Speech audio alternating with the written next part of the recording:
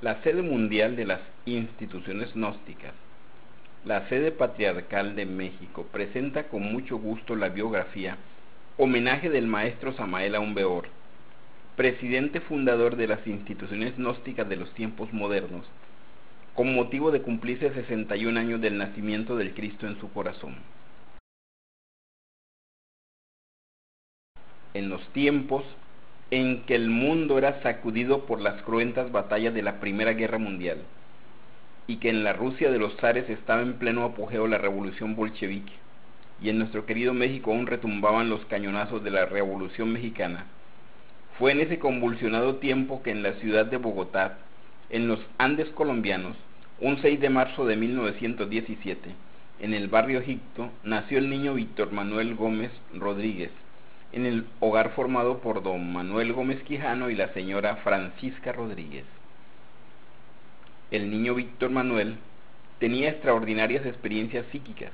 ¿Cómo son? Recuerdo de sus vidas pasadas, que veía en las paredes de su casa como si fuese una pantalla de televisión a los genios elementales de la naturaleza, como gnomos, duendes, pigmeos, etcétera y también veía paisajes de la quinta dimensión que eran su entretenimiento y el de sus hermanos. El maestro Samael comentaba que nació con la conciencia despierta. El niño Víctor Manuel Gómez Rodríguez estudió en el Colegio Jesuita de San Bartolomé y siendo aún un niño de tan solo nueve años de edad ya era monaguillo y se vio por ello obligado a estudiar la Sagrada Biblia y aprender algo de latín. A sus escasos 12 años era un apasionado lector de obras de espiritismo de, autores como Alan Kardec, León Denis, Camilo Flammarion, César Lombroso, etc. Su adolescencia y juventud la dedicó a la búsqueda del camino espiritual. Ya a los 15 años se maravillaba leyendo sobre la materialización de Kati Kim, los oráculos, los misterios de los egipcios, los druidas y los sabios griegos. El joven Víctor Manuel Gómez Rodríguez a los 16 años de edad salió de su casa debido a que era incompatible su carácter y el de su señor padre. A los 17 años ya dictaba conferencias en la Sociedad Teosófica, fundada por la venerable maestra Elena Petrona Blavatsky. Recuerda el maestro Samael que su diploma de teósofo lo recibió de manos del venerable Sadasa, presidente de esta institución. A los 18 años ingresó a la Escuela Gnóstica Rosacruz Antigua, fundada por el doctor Arnoldo Krungeller, venerable maestro Huiracocha. Allí estudió obras de Eliphas Levi, Rudolf Steiner, Max Heindel y del venerable maestro Huiracocha. Al igual que comprendió la importancia de, de las prácticas esotéricas tales como la mantralización y la meditación. Hay un hecho muy curioso y es que se encontró con un viejo amigo de su padre. Este era el doctor Romero Cortés, abogado, quien viendo sus inquietudes espirituales le llevó donde un gran quirólogo que hacía mapas de las manos sus vaticinios eran infalibles. El sabio quirólogo hizo varios mapas de las manos del joven Víctor Manuel. Luego los rompía un poco molesto, repitiendo siempre las mismas palabras. No es posible. A lo que el doctor Romero Cortés preguntó, ¿qué es lo imposible? Respondió el sabio quirólogo, o por primera vez en mi vida me he equivocado, o este muchacho es un dios. El doctor Romero Cortés, después de pagarle sus honorarios al quirólogo, le dijo al joven Víctor Manuel las siguientes palabras. Cuando despiertes, búscame. Más adelante se cumplió esta cita. Víctor Manuel Gómez Rodríguez salió de su casa paterna a los 16 años de edad y trabajaba arduamente a la vez que continuaba con sus estudios. Cursó hasta segundo año de medicina en la universidad, pero él quería una medicina más integral que ayudara con sus terribles poderes de la naturaleza a la humanidad. Encaminó entonces sus pasos hacia la Sierra Nevada de Santa Marta en busca de los sabios maestros aruacos. pero antes de llegar con ellos estudió con tribus salvajes de la Sierra Nevada, aprendió de ellos sus sistemas curativos y sus aspectos mágicos. Por fin llegó donde los sabios maestros arhuacos y fue sometido por ellos a terribles pruebas esotéricas en las cuales estuvo en peligro su vida. Luego de pasar victorioso, fue admitido en el estudio de la medicina y conoció el poder curativo de las plantas. Igualmente le enseñaron las técnicas para desarrollar gradualmente sus poderes internos, como la clarividencia, la intuición, el oído oculto, la telepatía, la meditación, las salidas conscientemente en cuerpo astral, etc. Al finalizar su preparación, luego de años de estudio y dedicación, y ser sometido a las pruebas que demostrarían a sus maestros que había aprovechado sus conocimientos, fue reconocido como Mama Aruaco y se le nombró como el Mama Catán Umaña Tamines. El joven Víctor Manuel Gómez Rodríguez, como el Mama Catán Umaña Tamines, realizó extraordinarias curaciones, atendió a pacientes con enfermedades graves, incluso desahuciados por la medicina oficial, y cobró fama de gran sanador el joven Mama. En verdad que era una bendición para los enfermos que se ponían a su cuidado. Hay un hecho curioso, hay una leyenda que afirma que el hombre fue creado en el cielo y la mujer en la tierra. Después de creados, cada uno buscó su opuesto. Así el hombre se arrojó de cabeza al abismo y venía degradándose, degenerándose a cada momento. La mujer empezó a elevarse al cielo. En el camino se encontraron. La mujer detuvo la caída del hombre y empezó a elevarlo. Así el joven Mama Catano Mañatamines conoció en 1946 a quien fue más adelante su esposa, maestra y colaboradora esotérica, la venerable Gurú Litelantes. Comentaba la maestra que su hermana Josefina estaba gravemente enferma y sus padres le pidieron ir a buscar a un prodigioso sanador.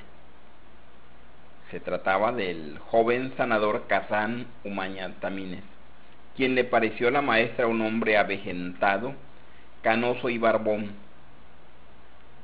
como era de esperarse, el joven sanador devolvió la salud a Josefina y se prendó de la joven Arnolda. Y después de veinte días de noviazgo se casaron en una pequeña iglesia. Este fue un hecho trascendental para la gnosis de este y futuros siglos. Gradualmente la maestra Arnolda fue influyendo en su esposo.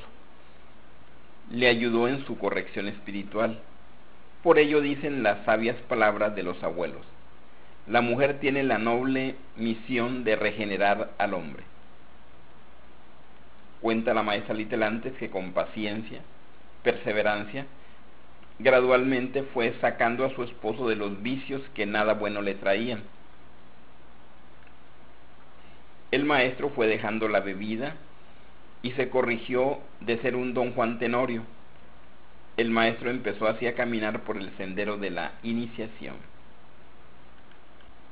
El maestro, con la ayuda de su esposa y maestra esotérica, fue rompiendo gradualmente con los lazos que le ataban a la magia negra y se resolvió por tocar a las puertas de la blanca hermandad y fue sometido a todas las pruebas esotéricas que debe pasar todo aquel que aspire a convertirse en discípulo de la logia blanca.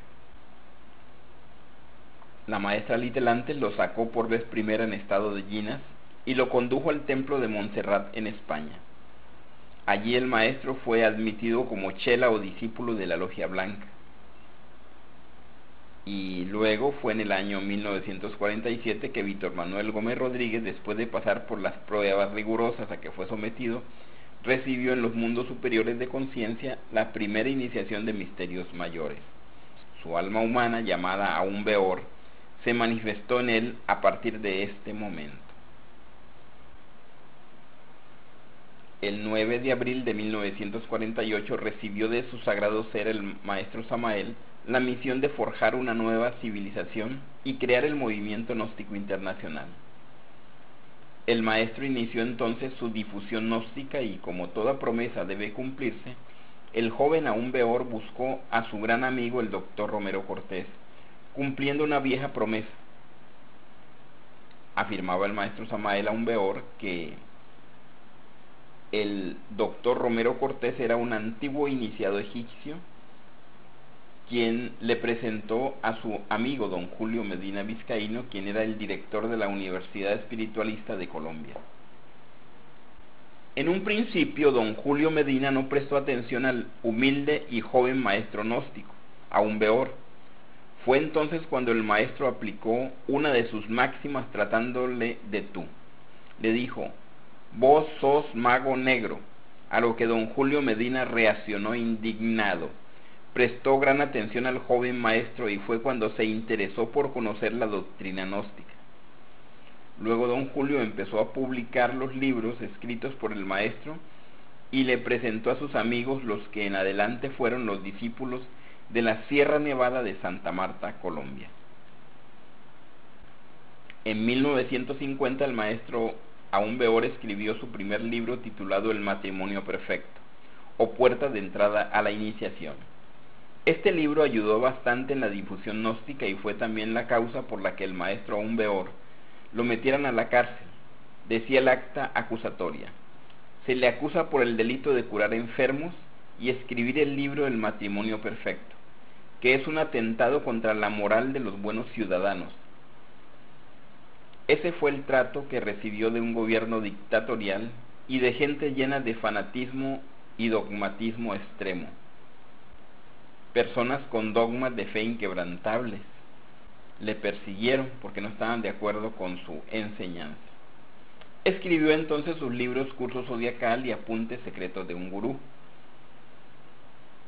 En marzo de 1954 fue invitado el maestro a visitar a sus discípulos de la Sierra Nevada de Santa Marta.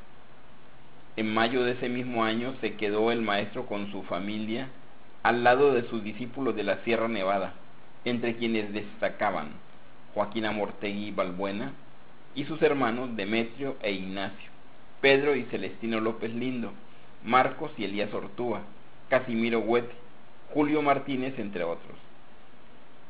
Con estos discípulos inició tiempo después la construcción del Sumum Supremum Santuario. Y fueron en, el Sumum estos discípulos sometidos a las grandes pruebas iniciáticas necesarias para avanzar en el camino. El maestro Samael también vivió terribles pruebas acompañadas de las persecuciones por los delitos de enseñar la gnosis y curar enfermos. Afortunadamente, gozaba el maestro de la sabia compañía y guía de la venerable Gurú Litelantes, gran maestra de la ley del karma que según las palabras del maestro Samael Aumbeor goza de conciencia continua. La presencia del maestro aún peor en la Sierra Nevada de Santa Marta y la publicación internacional de sus libros fue la causa de que llegaran a este lugar gran cantidad de personas que venían de diversos países y regiones. En toda la región de la costa atlántica de Colombia se hablaba del maestro como un ser prodigioso, como un gran mago, ya a mediados de 1954 los maestros del Sagrado Colegio de Iniciados le anunciaron al maestro Aún Beor que iba a recibir el primer grado de la iniciación venusta, la iniciación de Tiferet, en el cual su sagrado ser, Señor Samael, Señor de la síntesis, Maestro del rayo de la fuerza, se encarnaría en su bodhisattva para ayudar de una manera efectiva a la humanidad doliente fue auxiliado por los maestros de la Blanca Hermandad y por la Sagrada Gurú Litelantes en este evento trascendental. El maestro ayunó y se preparó para este gran evento, y fue un 27 de octubre de 1954, en una ceremonia muy especial en el templo del Sumum Supremum Santuarium, en donde se respiraba la mística trascendental. Se inició el rito sagrado que fue dirigido por don Enrique Benar, bodhisattva del maestro Johanny. Aún Beor cayó en un desmayo que duró tres días y tres noches. Sus discípulos pusieron una sábana que extendieron para que reposara el cuerpo del maestro. del planeta Marte se desprendió un rayo poderoso con dirección al planeta Tierra. Ese rayo poderoso era el Logos Samael, regente del planeta Marte, que venía a encarnarse en su humana persona a un Beor. El éxito de su labor y la difusión de sus libros fue el motivo para que se iniciara una terrible persecución por parte de grupos sectarios, religiosos, dogmáticos y fanáticos, que quisieron destruir al maestro amparados por los integrantes de un gobierno dictatorial. En 1955, el maestro Samael Aumbeo recibió la orden de los sagrados maestros de la Logia Blanca de abandonar la Sierra Nevada de Santa Marta para proteger su vida y brindar seguridad a su familia. El maestro viajó primero a Barranquilla y luego a Cartagena de Indias. Después se embarcaron rumbo a San Andrés y Providencia, que es una isla en el mar Atlántico perteneciente a Colombia que se sitúa frente a Centroamérica. Luego, cuando los fanáticos e intransigentes enemigos se dieron cuenta dónde se encontraban, lo buscaron y lo persiguieron en ese lugar. El maestro con su familia debieron trasladarse entonces a Panamá, donde dieron forma al movimiento gnóstico de Panamá. Pero también allí el maestro fue traicionado por los discípulos de ese país, debiendo trasladarse a Costa Rica y de ahí al Salvador, escribiendo en este país el libro Los Misterios del Fuego.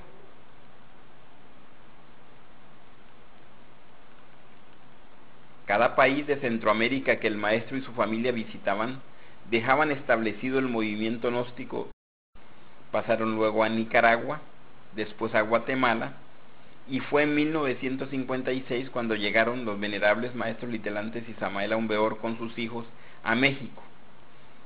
Un supuesto discípulo les había prometido ayuda que fue una ilusión. Ya establecidos en México, empezó el maestro a formar sus primeros grupos en Toluca y en el Distrito Federal. Llegaban muchos estudiantes y luego se iban, venían otros e igualmente se retiraban. Viendo esta situación, el maestro Samael Aumbeor quiso regresar a Sudamérica y establecerse en Brasil. Fue entonces cuando tuvo un encuentro en los mundos superiores de conciencia con el divino redentor de la humanidad, el gran maestro Jesús Cristo, quien le dijo que solamente en México tendría la protección para su vida. Aquí en México sus enemigos no le podrían causar daño alguno.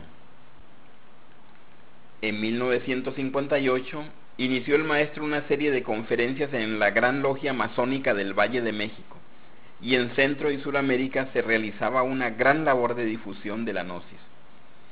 En ese mismo año se produjo una gran alianza con los venerables maestros Sivananda de la India y Lucemil de Argentina y dieron forma al AGLA, Lamentablemente, en 1963 fallecieron estos dos maestros y el maestro Samael Aumbeor continuó solo su obra, apoyado por la venerable Gurú Litelantes, en la difusión del movimiento gnóstico.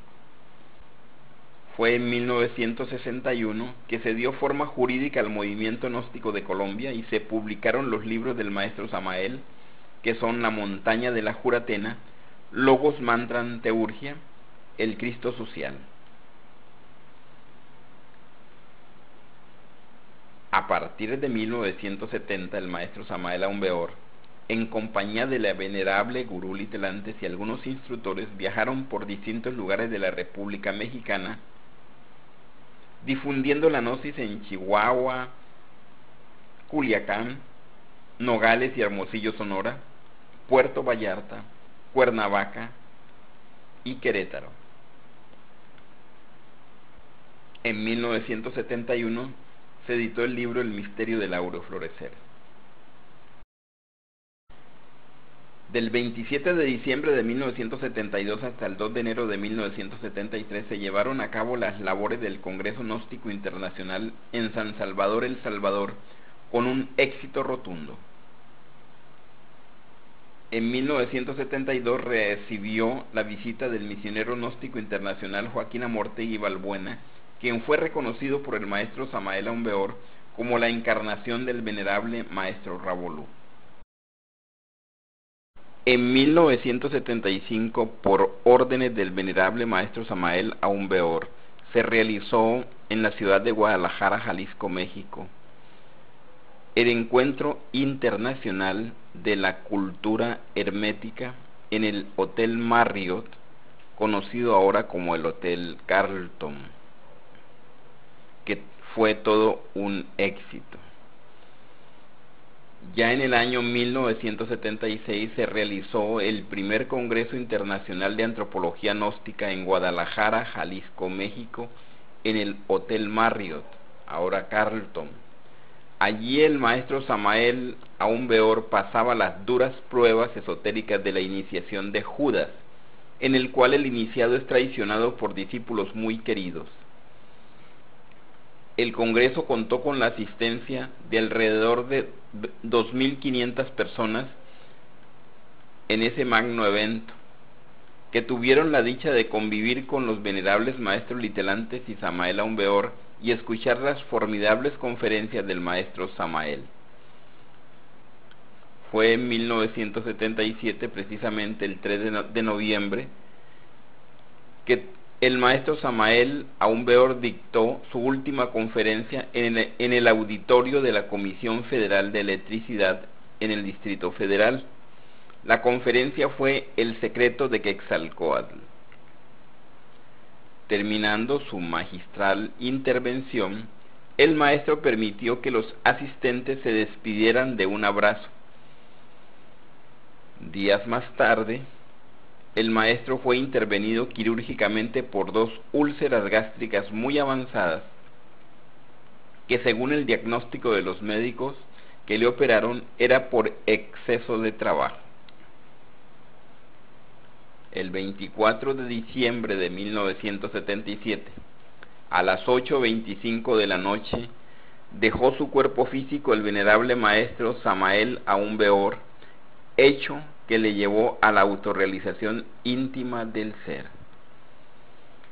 El maestro Samael Aumbeor desencarnó al lado de su esposa, la maestra y colaboradora esotérica y su familia. A propósito de la última voluntad del maestro Samael de dejar el timón de la gnosis a la venerable Gurú Litelantes, ya con anterioridad en su libro El mensaje de Navidad de 1954 el maestro presentó a la venerable maestra Litelantes con las siguientes palabras. Venerable maestra Litelantes, esta dama adecto goza de la conciencia continua y a través de innumerables reencarnaciones logró educir y vigorizar ciertas facultades ocultas que entre otras cosas le permitieron recordar sus vidas pasadas y la historia del planeta y de sus razas. Ha sido la colaboradora esotérica del maestro Samael Aumbeor. Descubrió los estados de Yinas, mencionados por don Mario Rosso de Luna y Arnoldo Krungeler. Colaboró con el maestro Samael Aumbeor en la investigación científica de los elementales vegetales que figuran en el Tratado de Medicina Oculta. Esta dama adecto es uno de los 42 jueces del karma. Es absolutamente silenciosa y como quiera que jamás haya hecho gala de sus poderes ni de sus conocimientos, los pedantes de la época han agotado su baba difamatoria contra ella. El gurú Litelantes trabaja anónima y silenciosamente en el palacio de los señores del karma. Esta dama adecto es el alma gemela del maestro Samael Aumbeor y a través de las innumerables reencarnaciones ha sido siempre la fiel compañera del Maestro. Esta poderosa vidente tiene en su mente toda la sabiduría de los siglos y con sus facultades clarividentes ha colaborado con el maestro Samael Aumbeor estudiando los diversos departamentos elementales de la naturaleza. Les invitamos a ver más detalles en los libros del maestro Samael Aumbeor Rosa Ignea y Tratado de Medicina Oculta y Magia Práctica. También la maestra literalmente nos comentaba que en sus últimos días del maestro él le comentaba lo siguiente. cuando ya no esté mi persona, saldrán maestros como las cucarachas hasta de abajo de las piedras. La verdad es que muy poco tiempo después de la desencarnación del maestro Samael Aumbeor, empezaron a salir supuestos maestros, mitómanos, lobos vestidos con piel de ovejas. Lamentablemente, la gran mayoría de los estudiantes gnósticos le siguieron fascinados. Hasta apareció un misionero gnóstico que adoptó el nombre de una diosa hindú y se presentaba como el restaurador de la gnosis. Lamentablemente una gran mayoría de estudiantes gnósticos le siguieron. Nosotros nos preguntamos, ¿cómo es posible que a un poco más de 30 años de haber formado los maestros Amael y Litelantes las instituciones gnósticas, necesitaban una restauración? Y lo peor del caso, tratando de cambiar la enseñanza de los maestros con una enseñanza deficiente, insípida y cargada de cierto fanatismo y dogmatismo. En su mensaje a los misioneros gnósticos dice el maestro Samael Aumbeor, fuera de nosotros la ira, la codicia, la lujuria, la envidia, el orgullo, la pereza y la gula. Fuera de nosotros la espina que hiere las carnes, fuera de nosotros la cizaña de la murmuración y la calumnia, fuera de nosotros el veneno asqueante de la envidia. En modo alguno deseamos hacer de la gnosis un negocio. Fuera las finanzas del gnosticismo universal. Solo queremos una cosa, amar profundamente a la humanidad. Invitamos a estudiar con atención el libro Misterios Mayores del maestro Samael Aumbeor, en especial el capítulo 7. Terminamos este video con las palabras del maestro Samael Aumbeor. Día llegará en que aquellos que sigan la doctrina de la gnosis lograrán la resurrección de Quetzalcoatl aquí y ahora. Nosotros los gnósticos tenemos la clave de todos los misterios y la llave de todos los poderes. Podemos hacer temblar la tierra y mover los huracanes, porque conocemos el secreto de Quetzalcoatl. Hemos concluido este homenaje al venerable maestro Samael Aumbeor con motivo de celebrarse un aniversario más de la encarnación del Logo Samael, genio de la fuerza en su humana persona. El superhombre es como un rayo que brilla por un instante en la noche y luego desaparece en el misterio.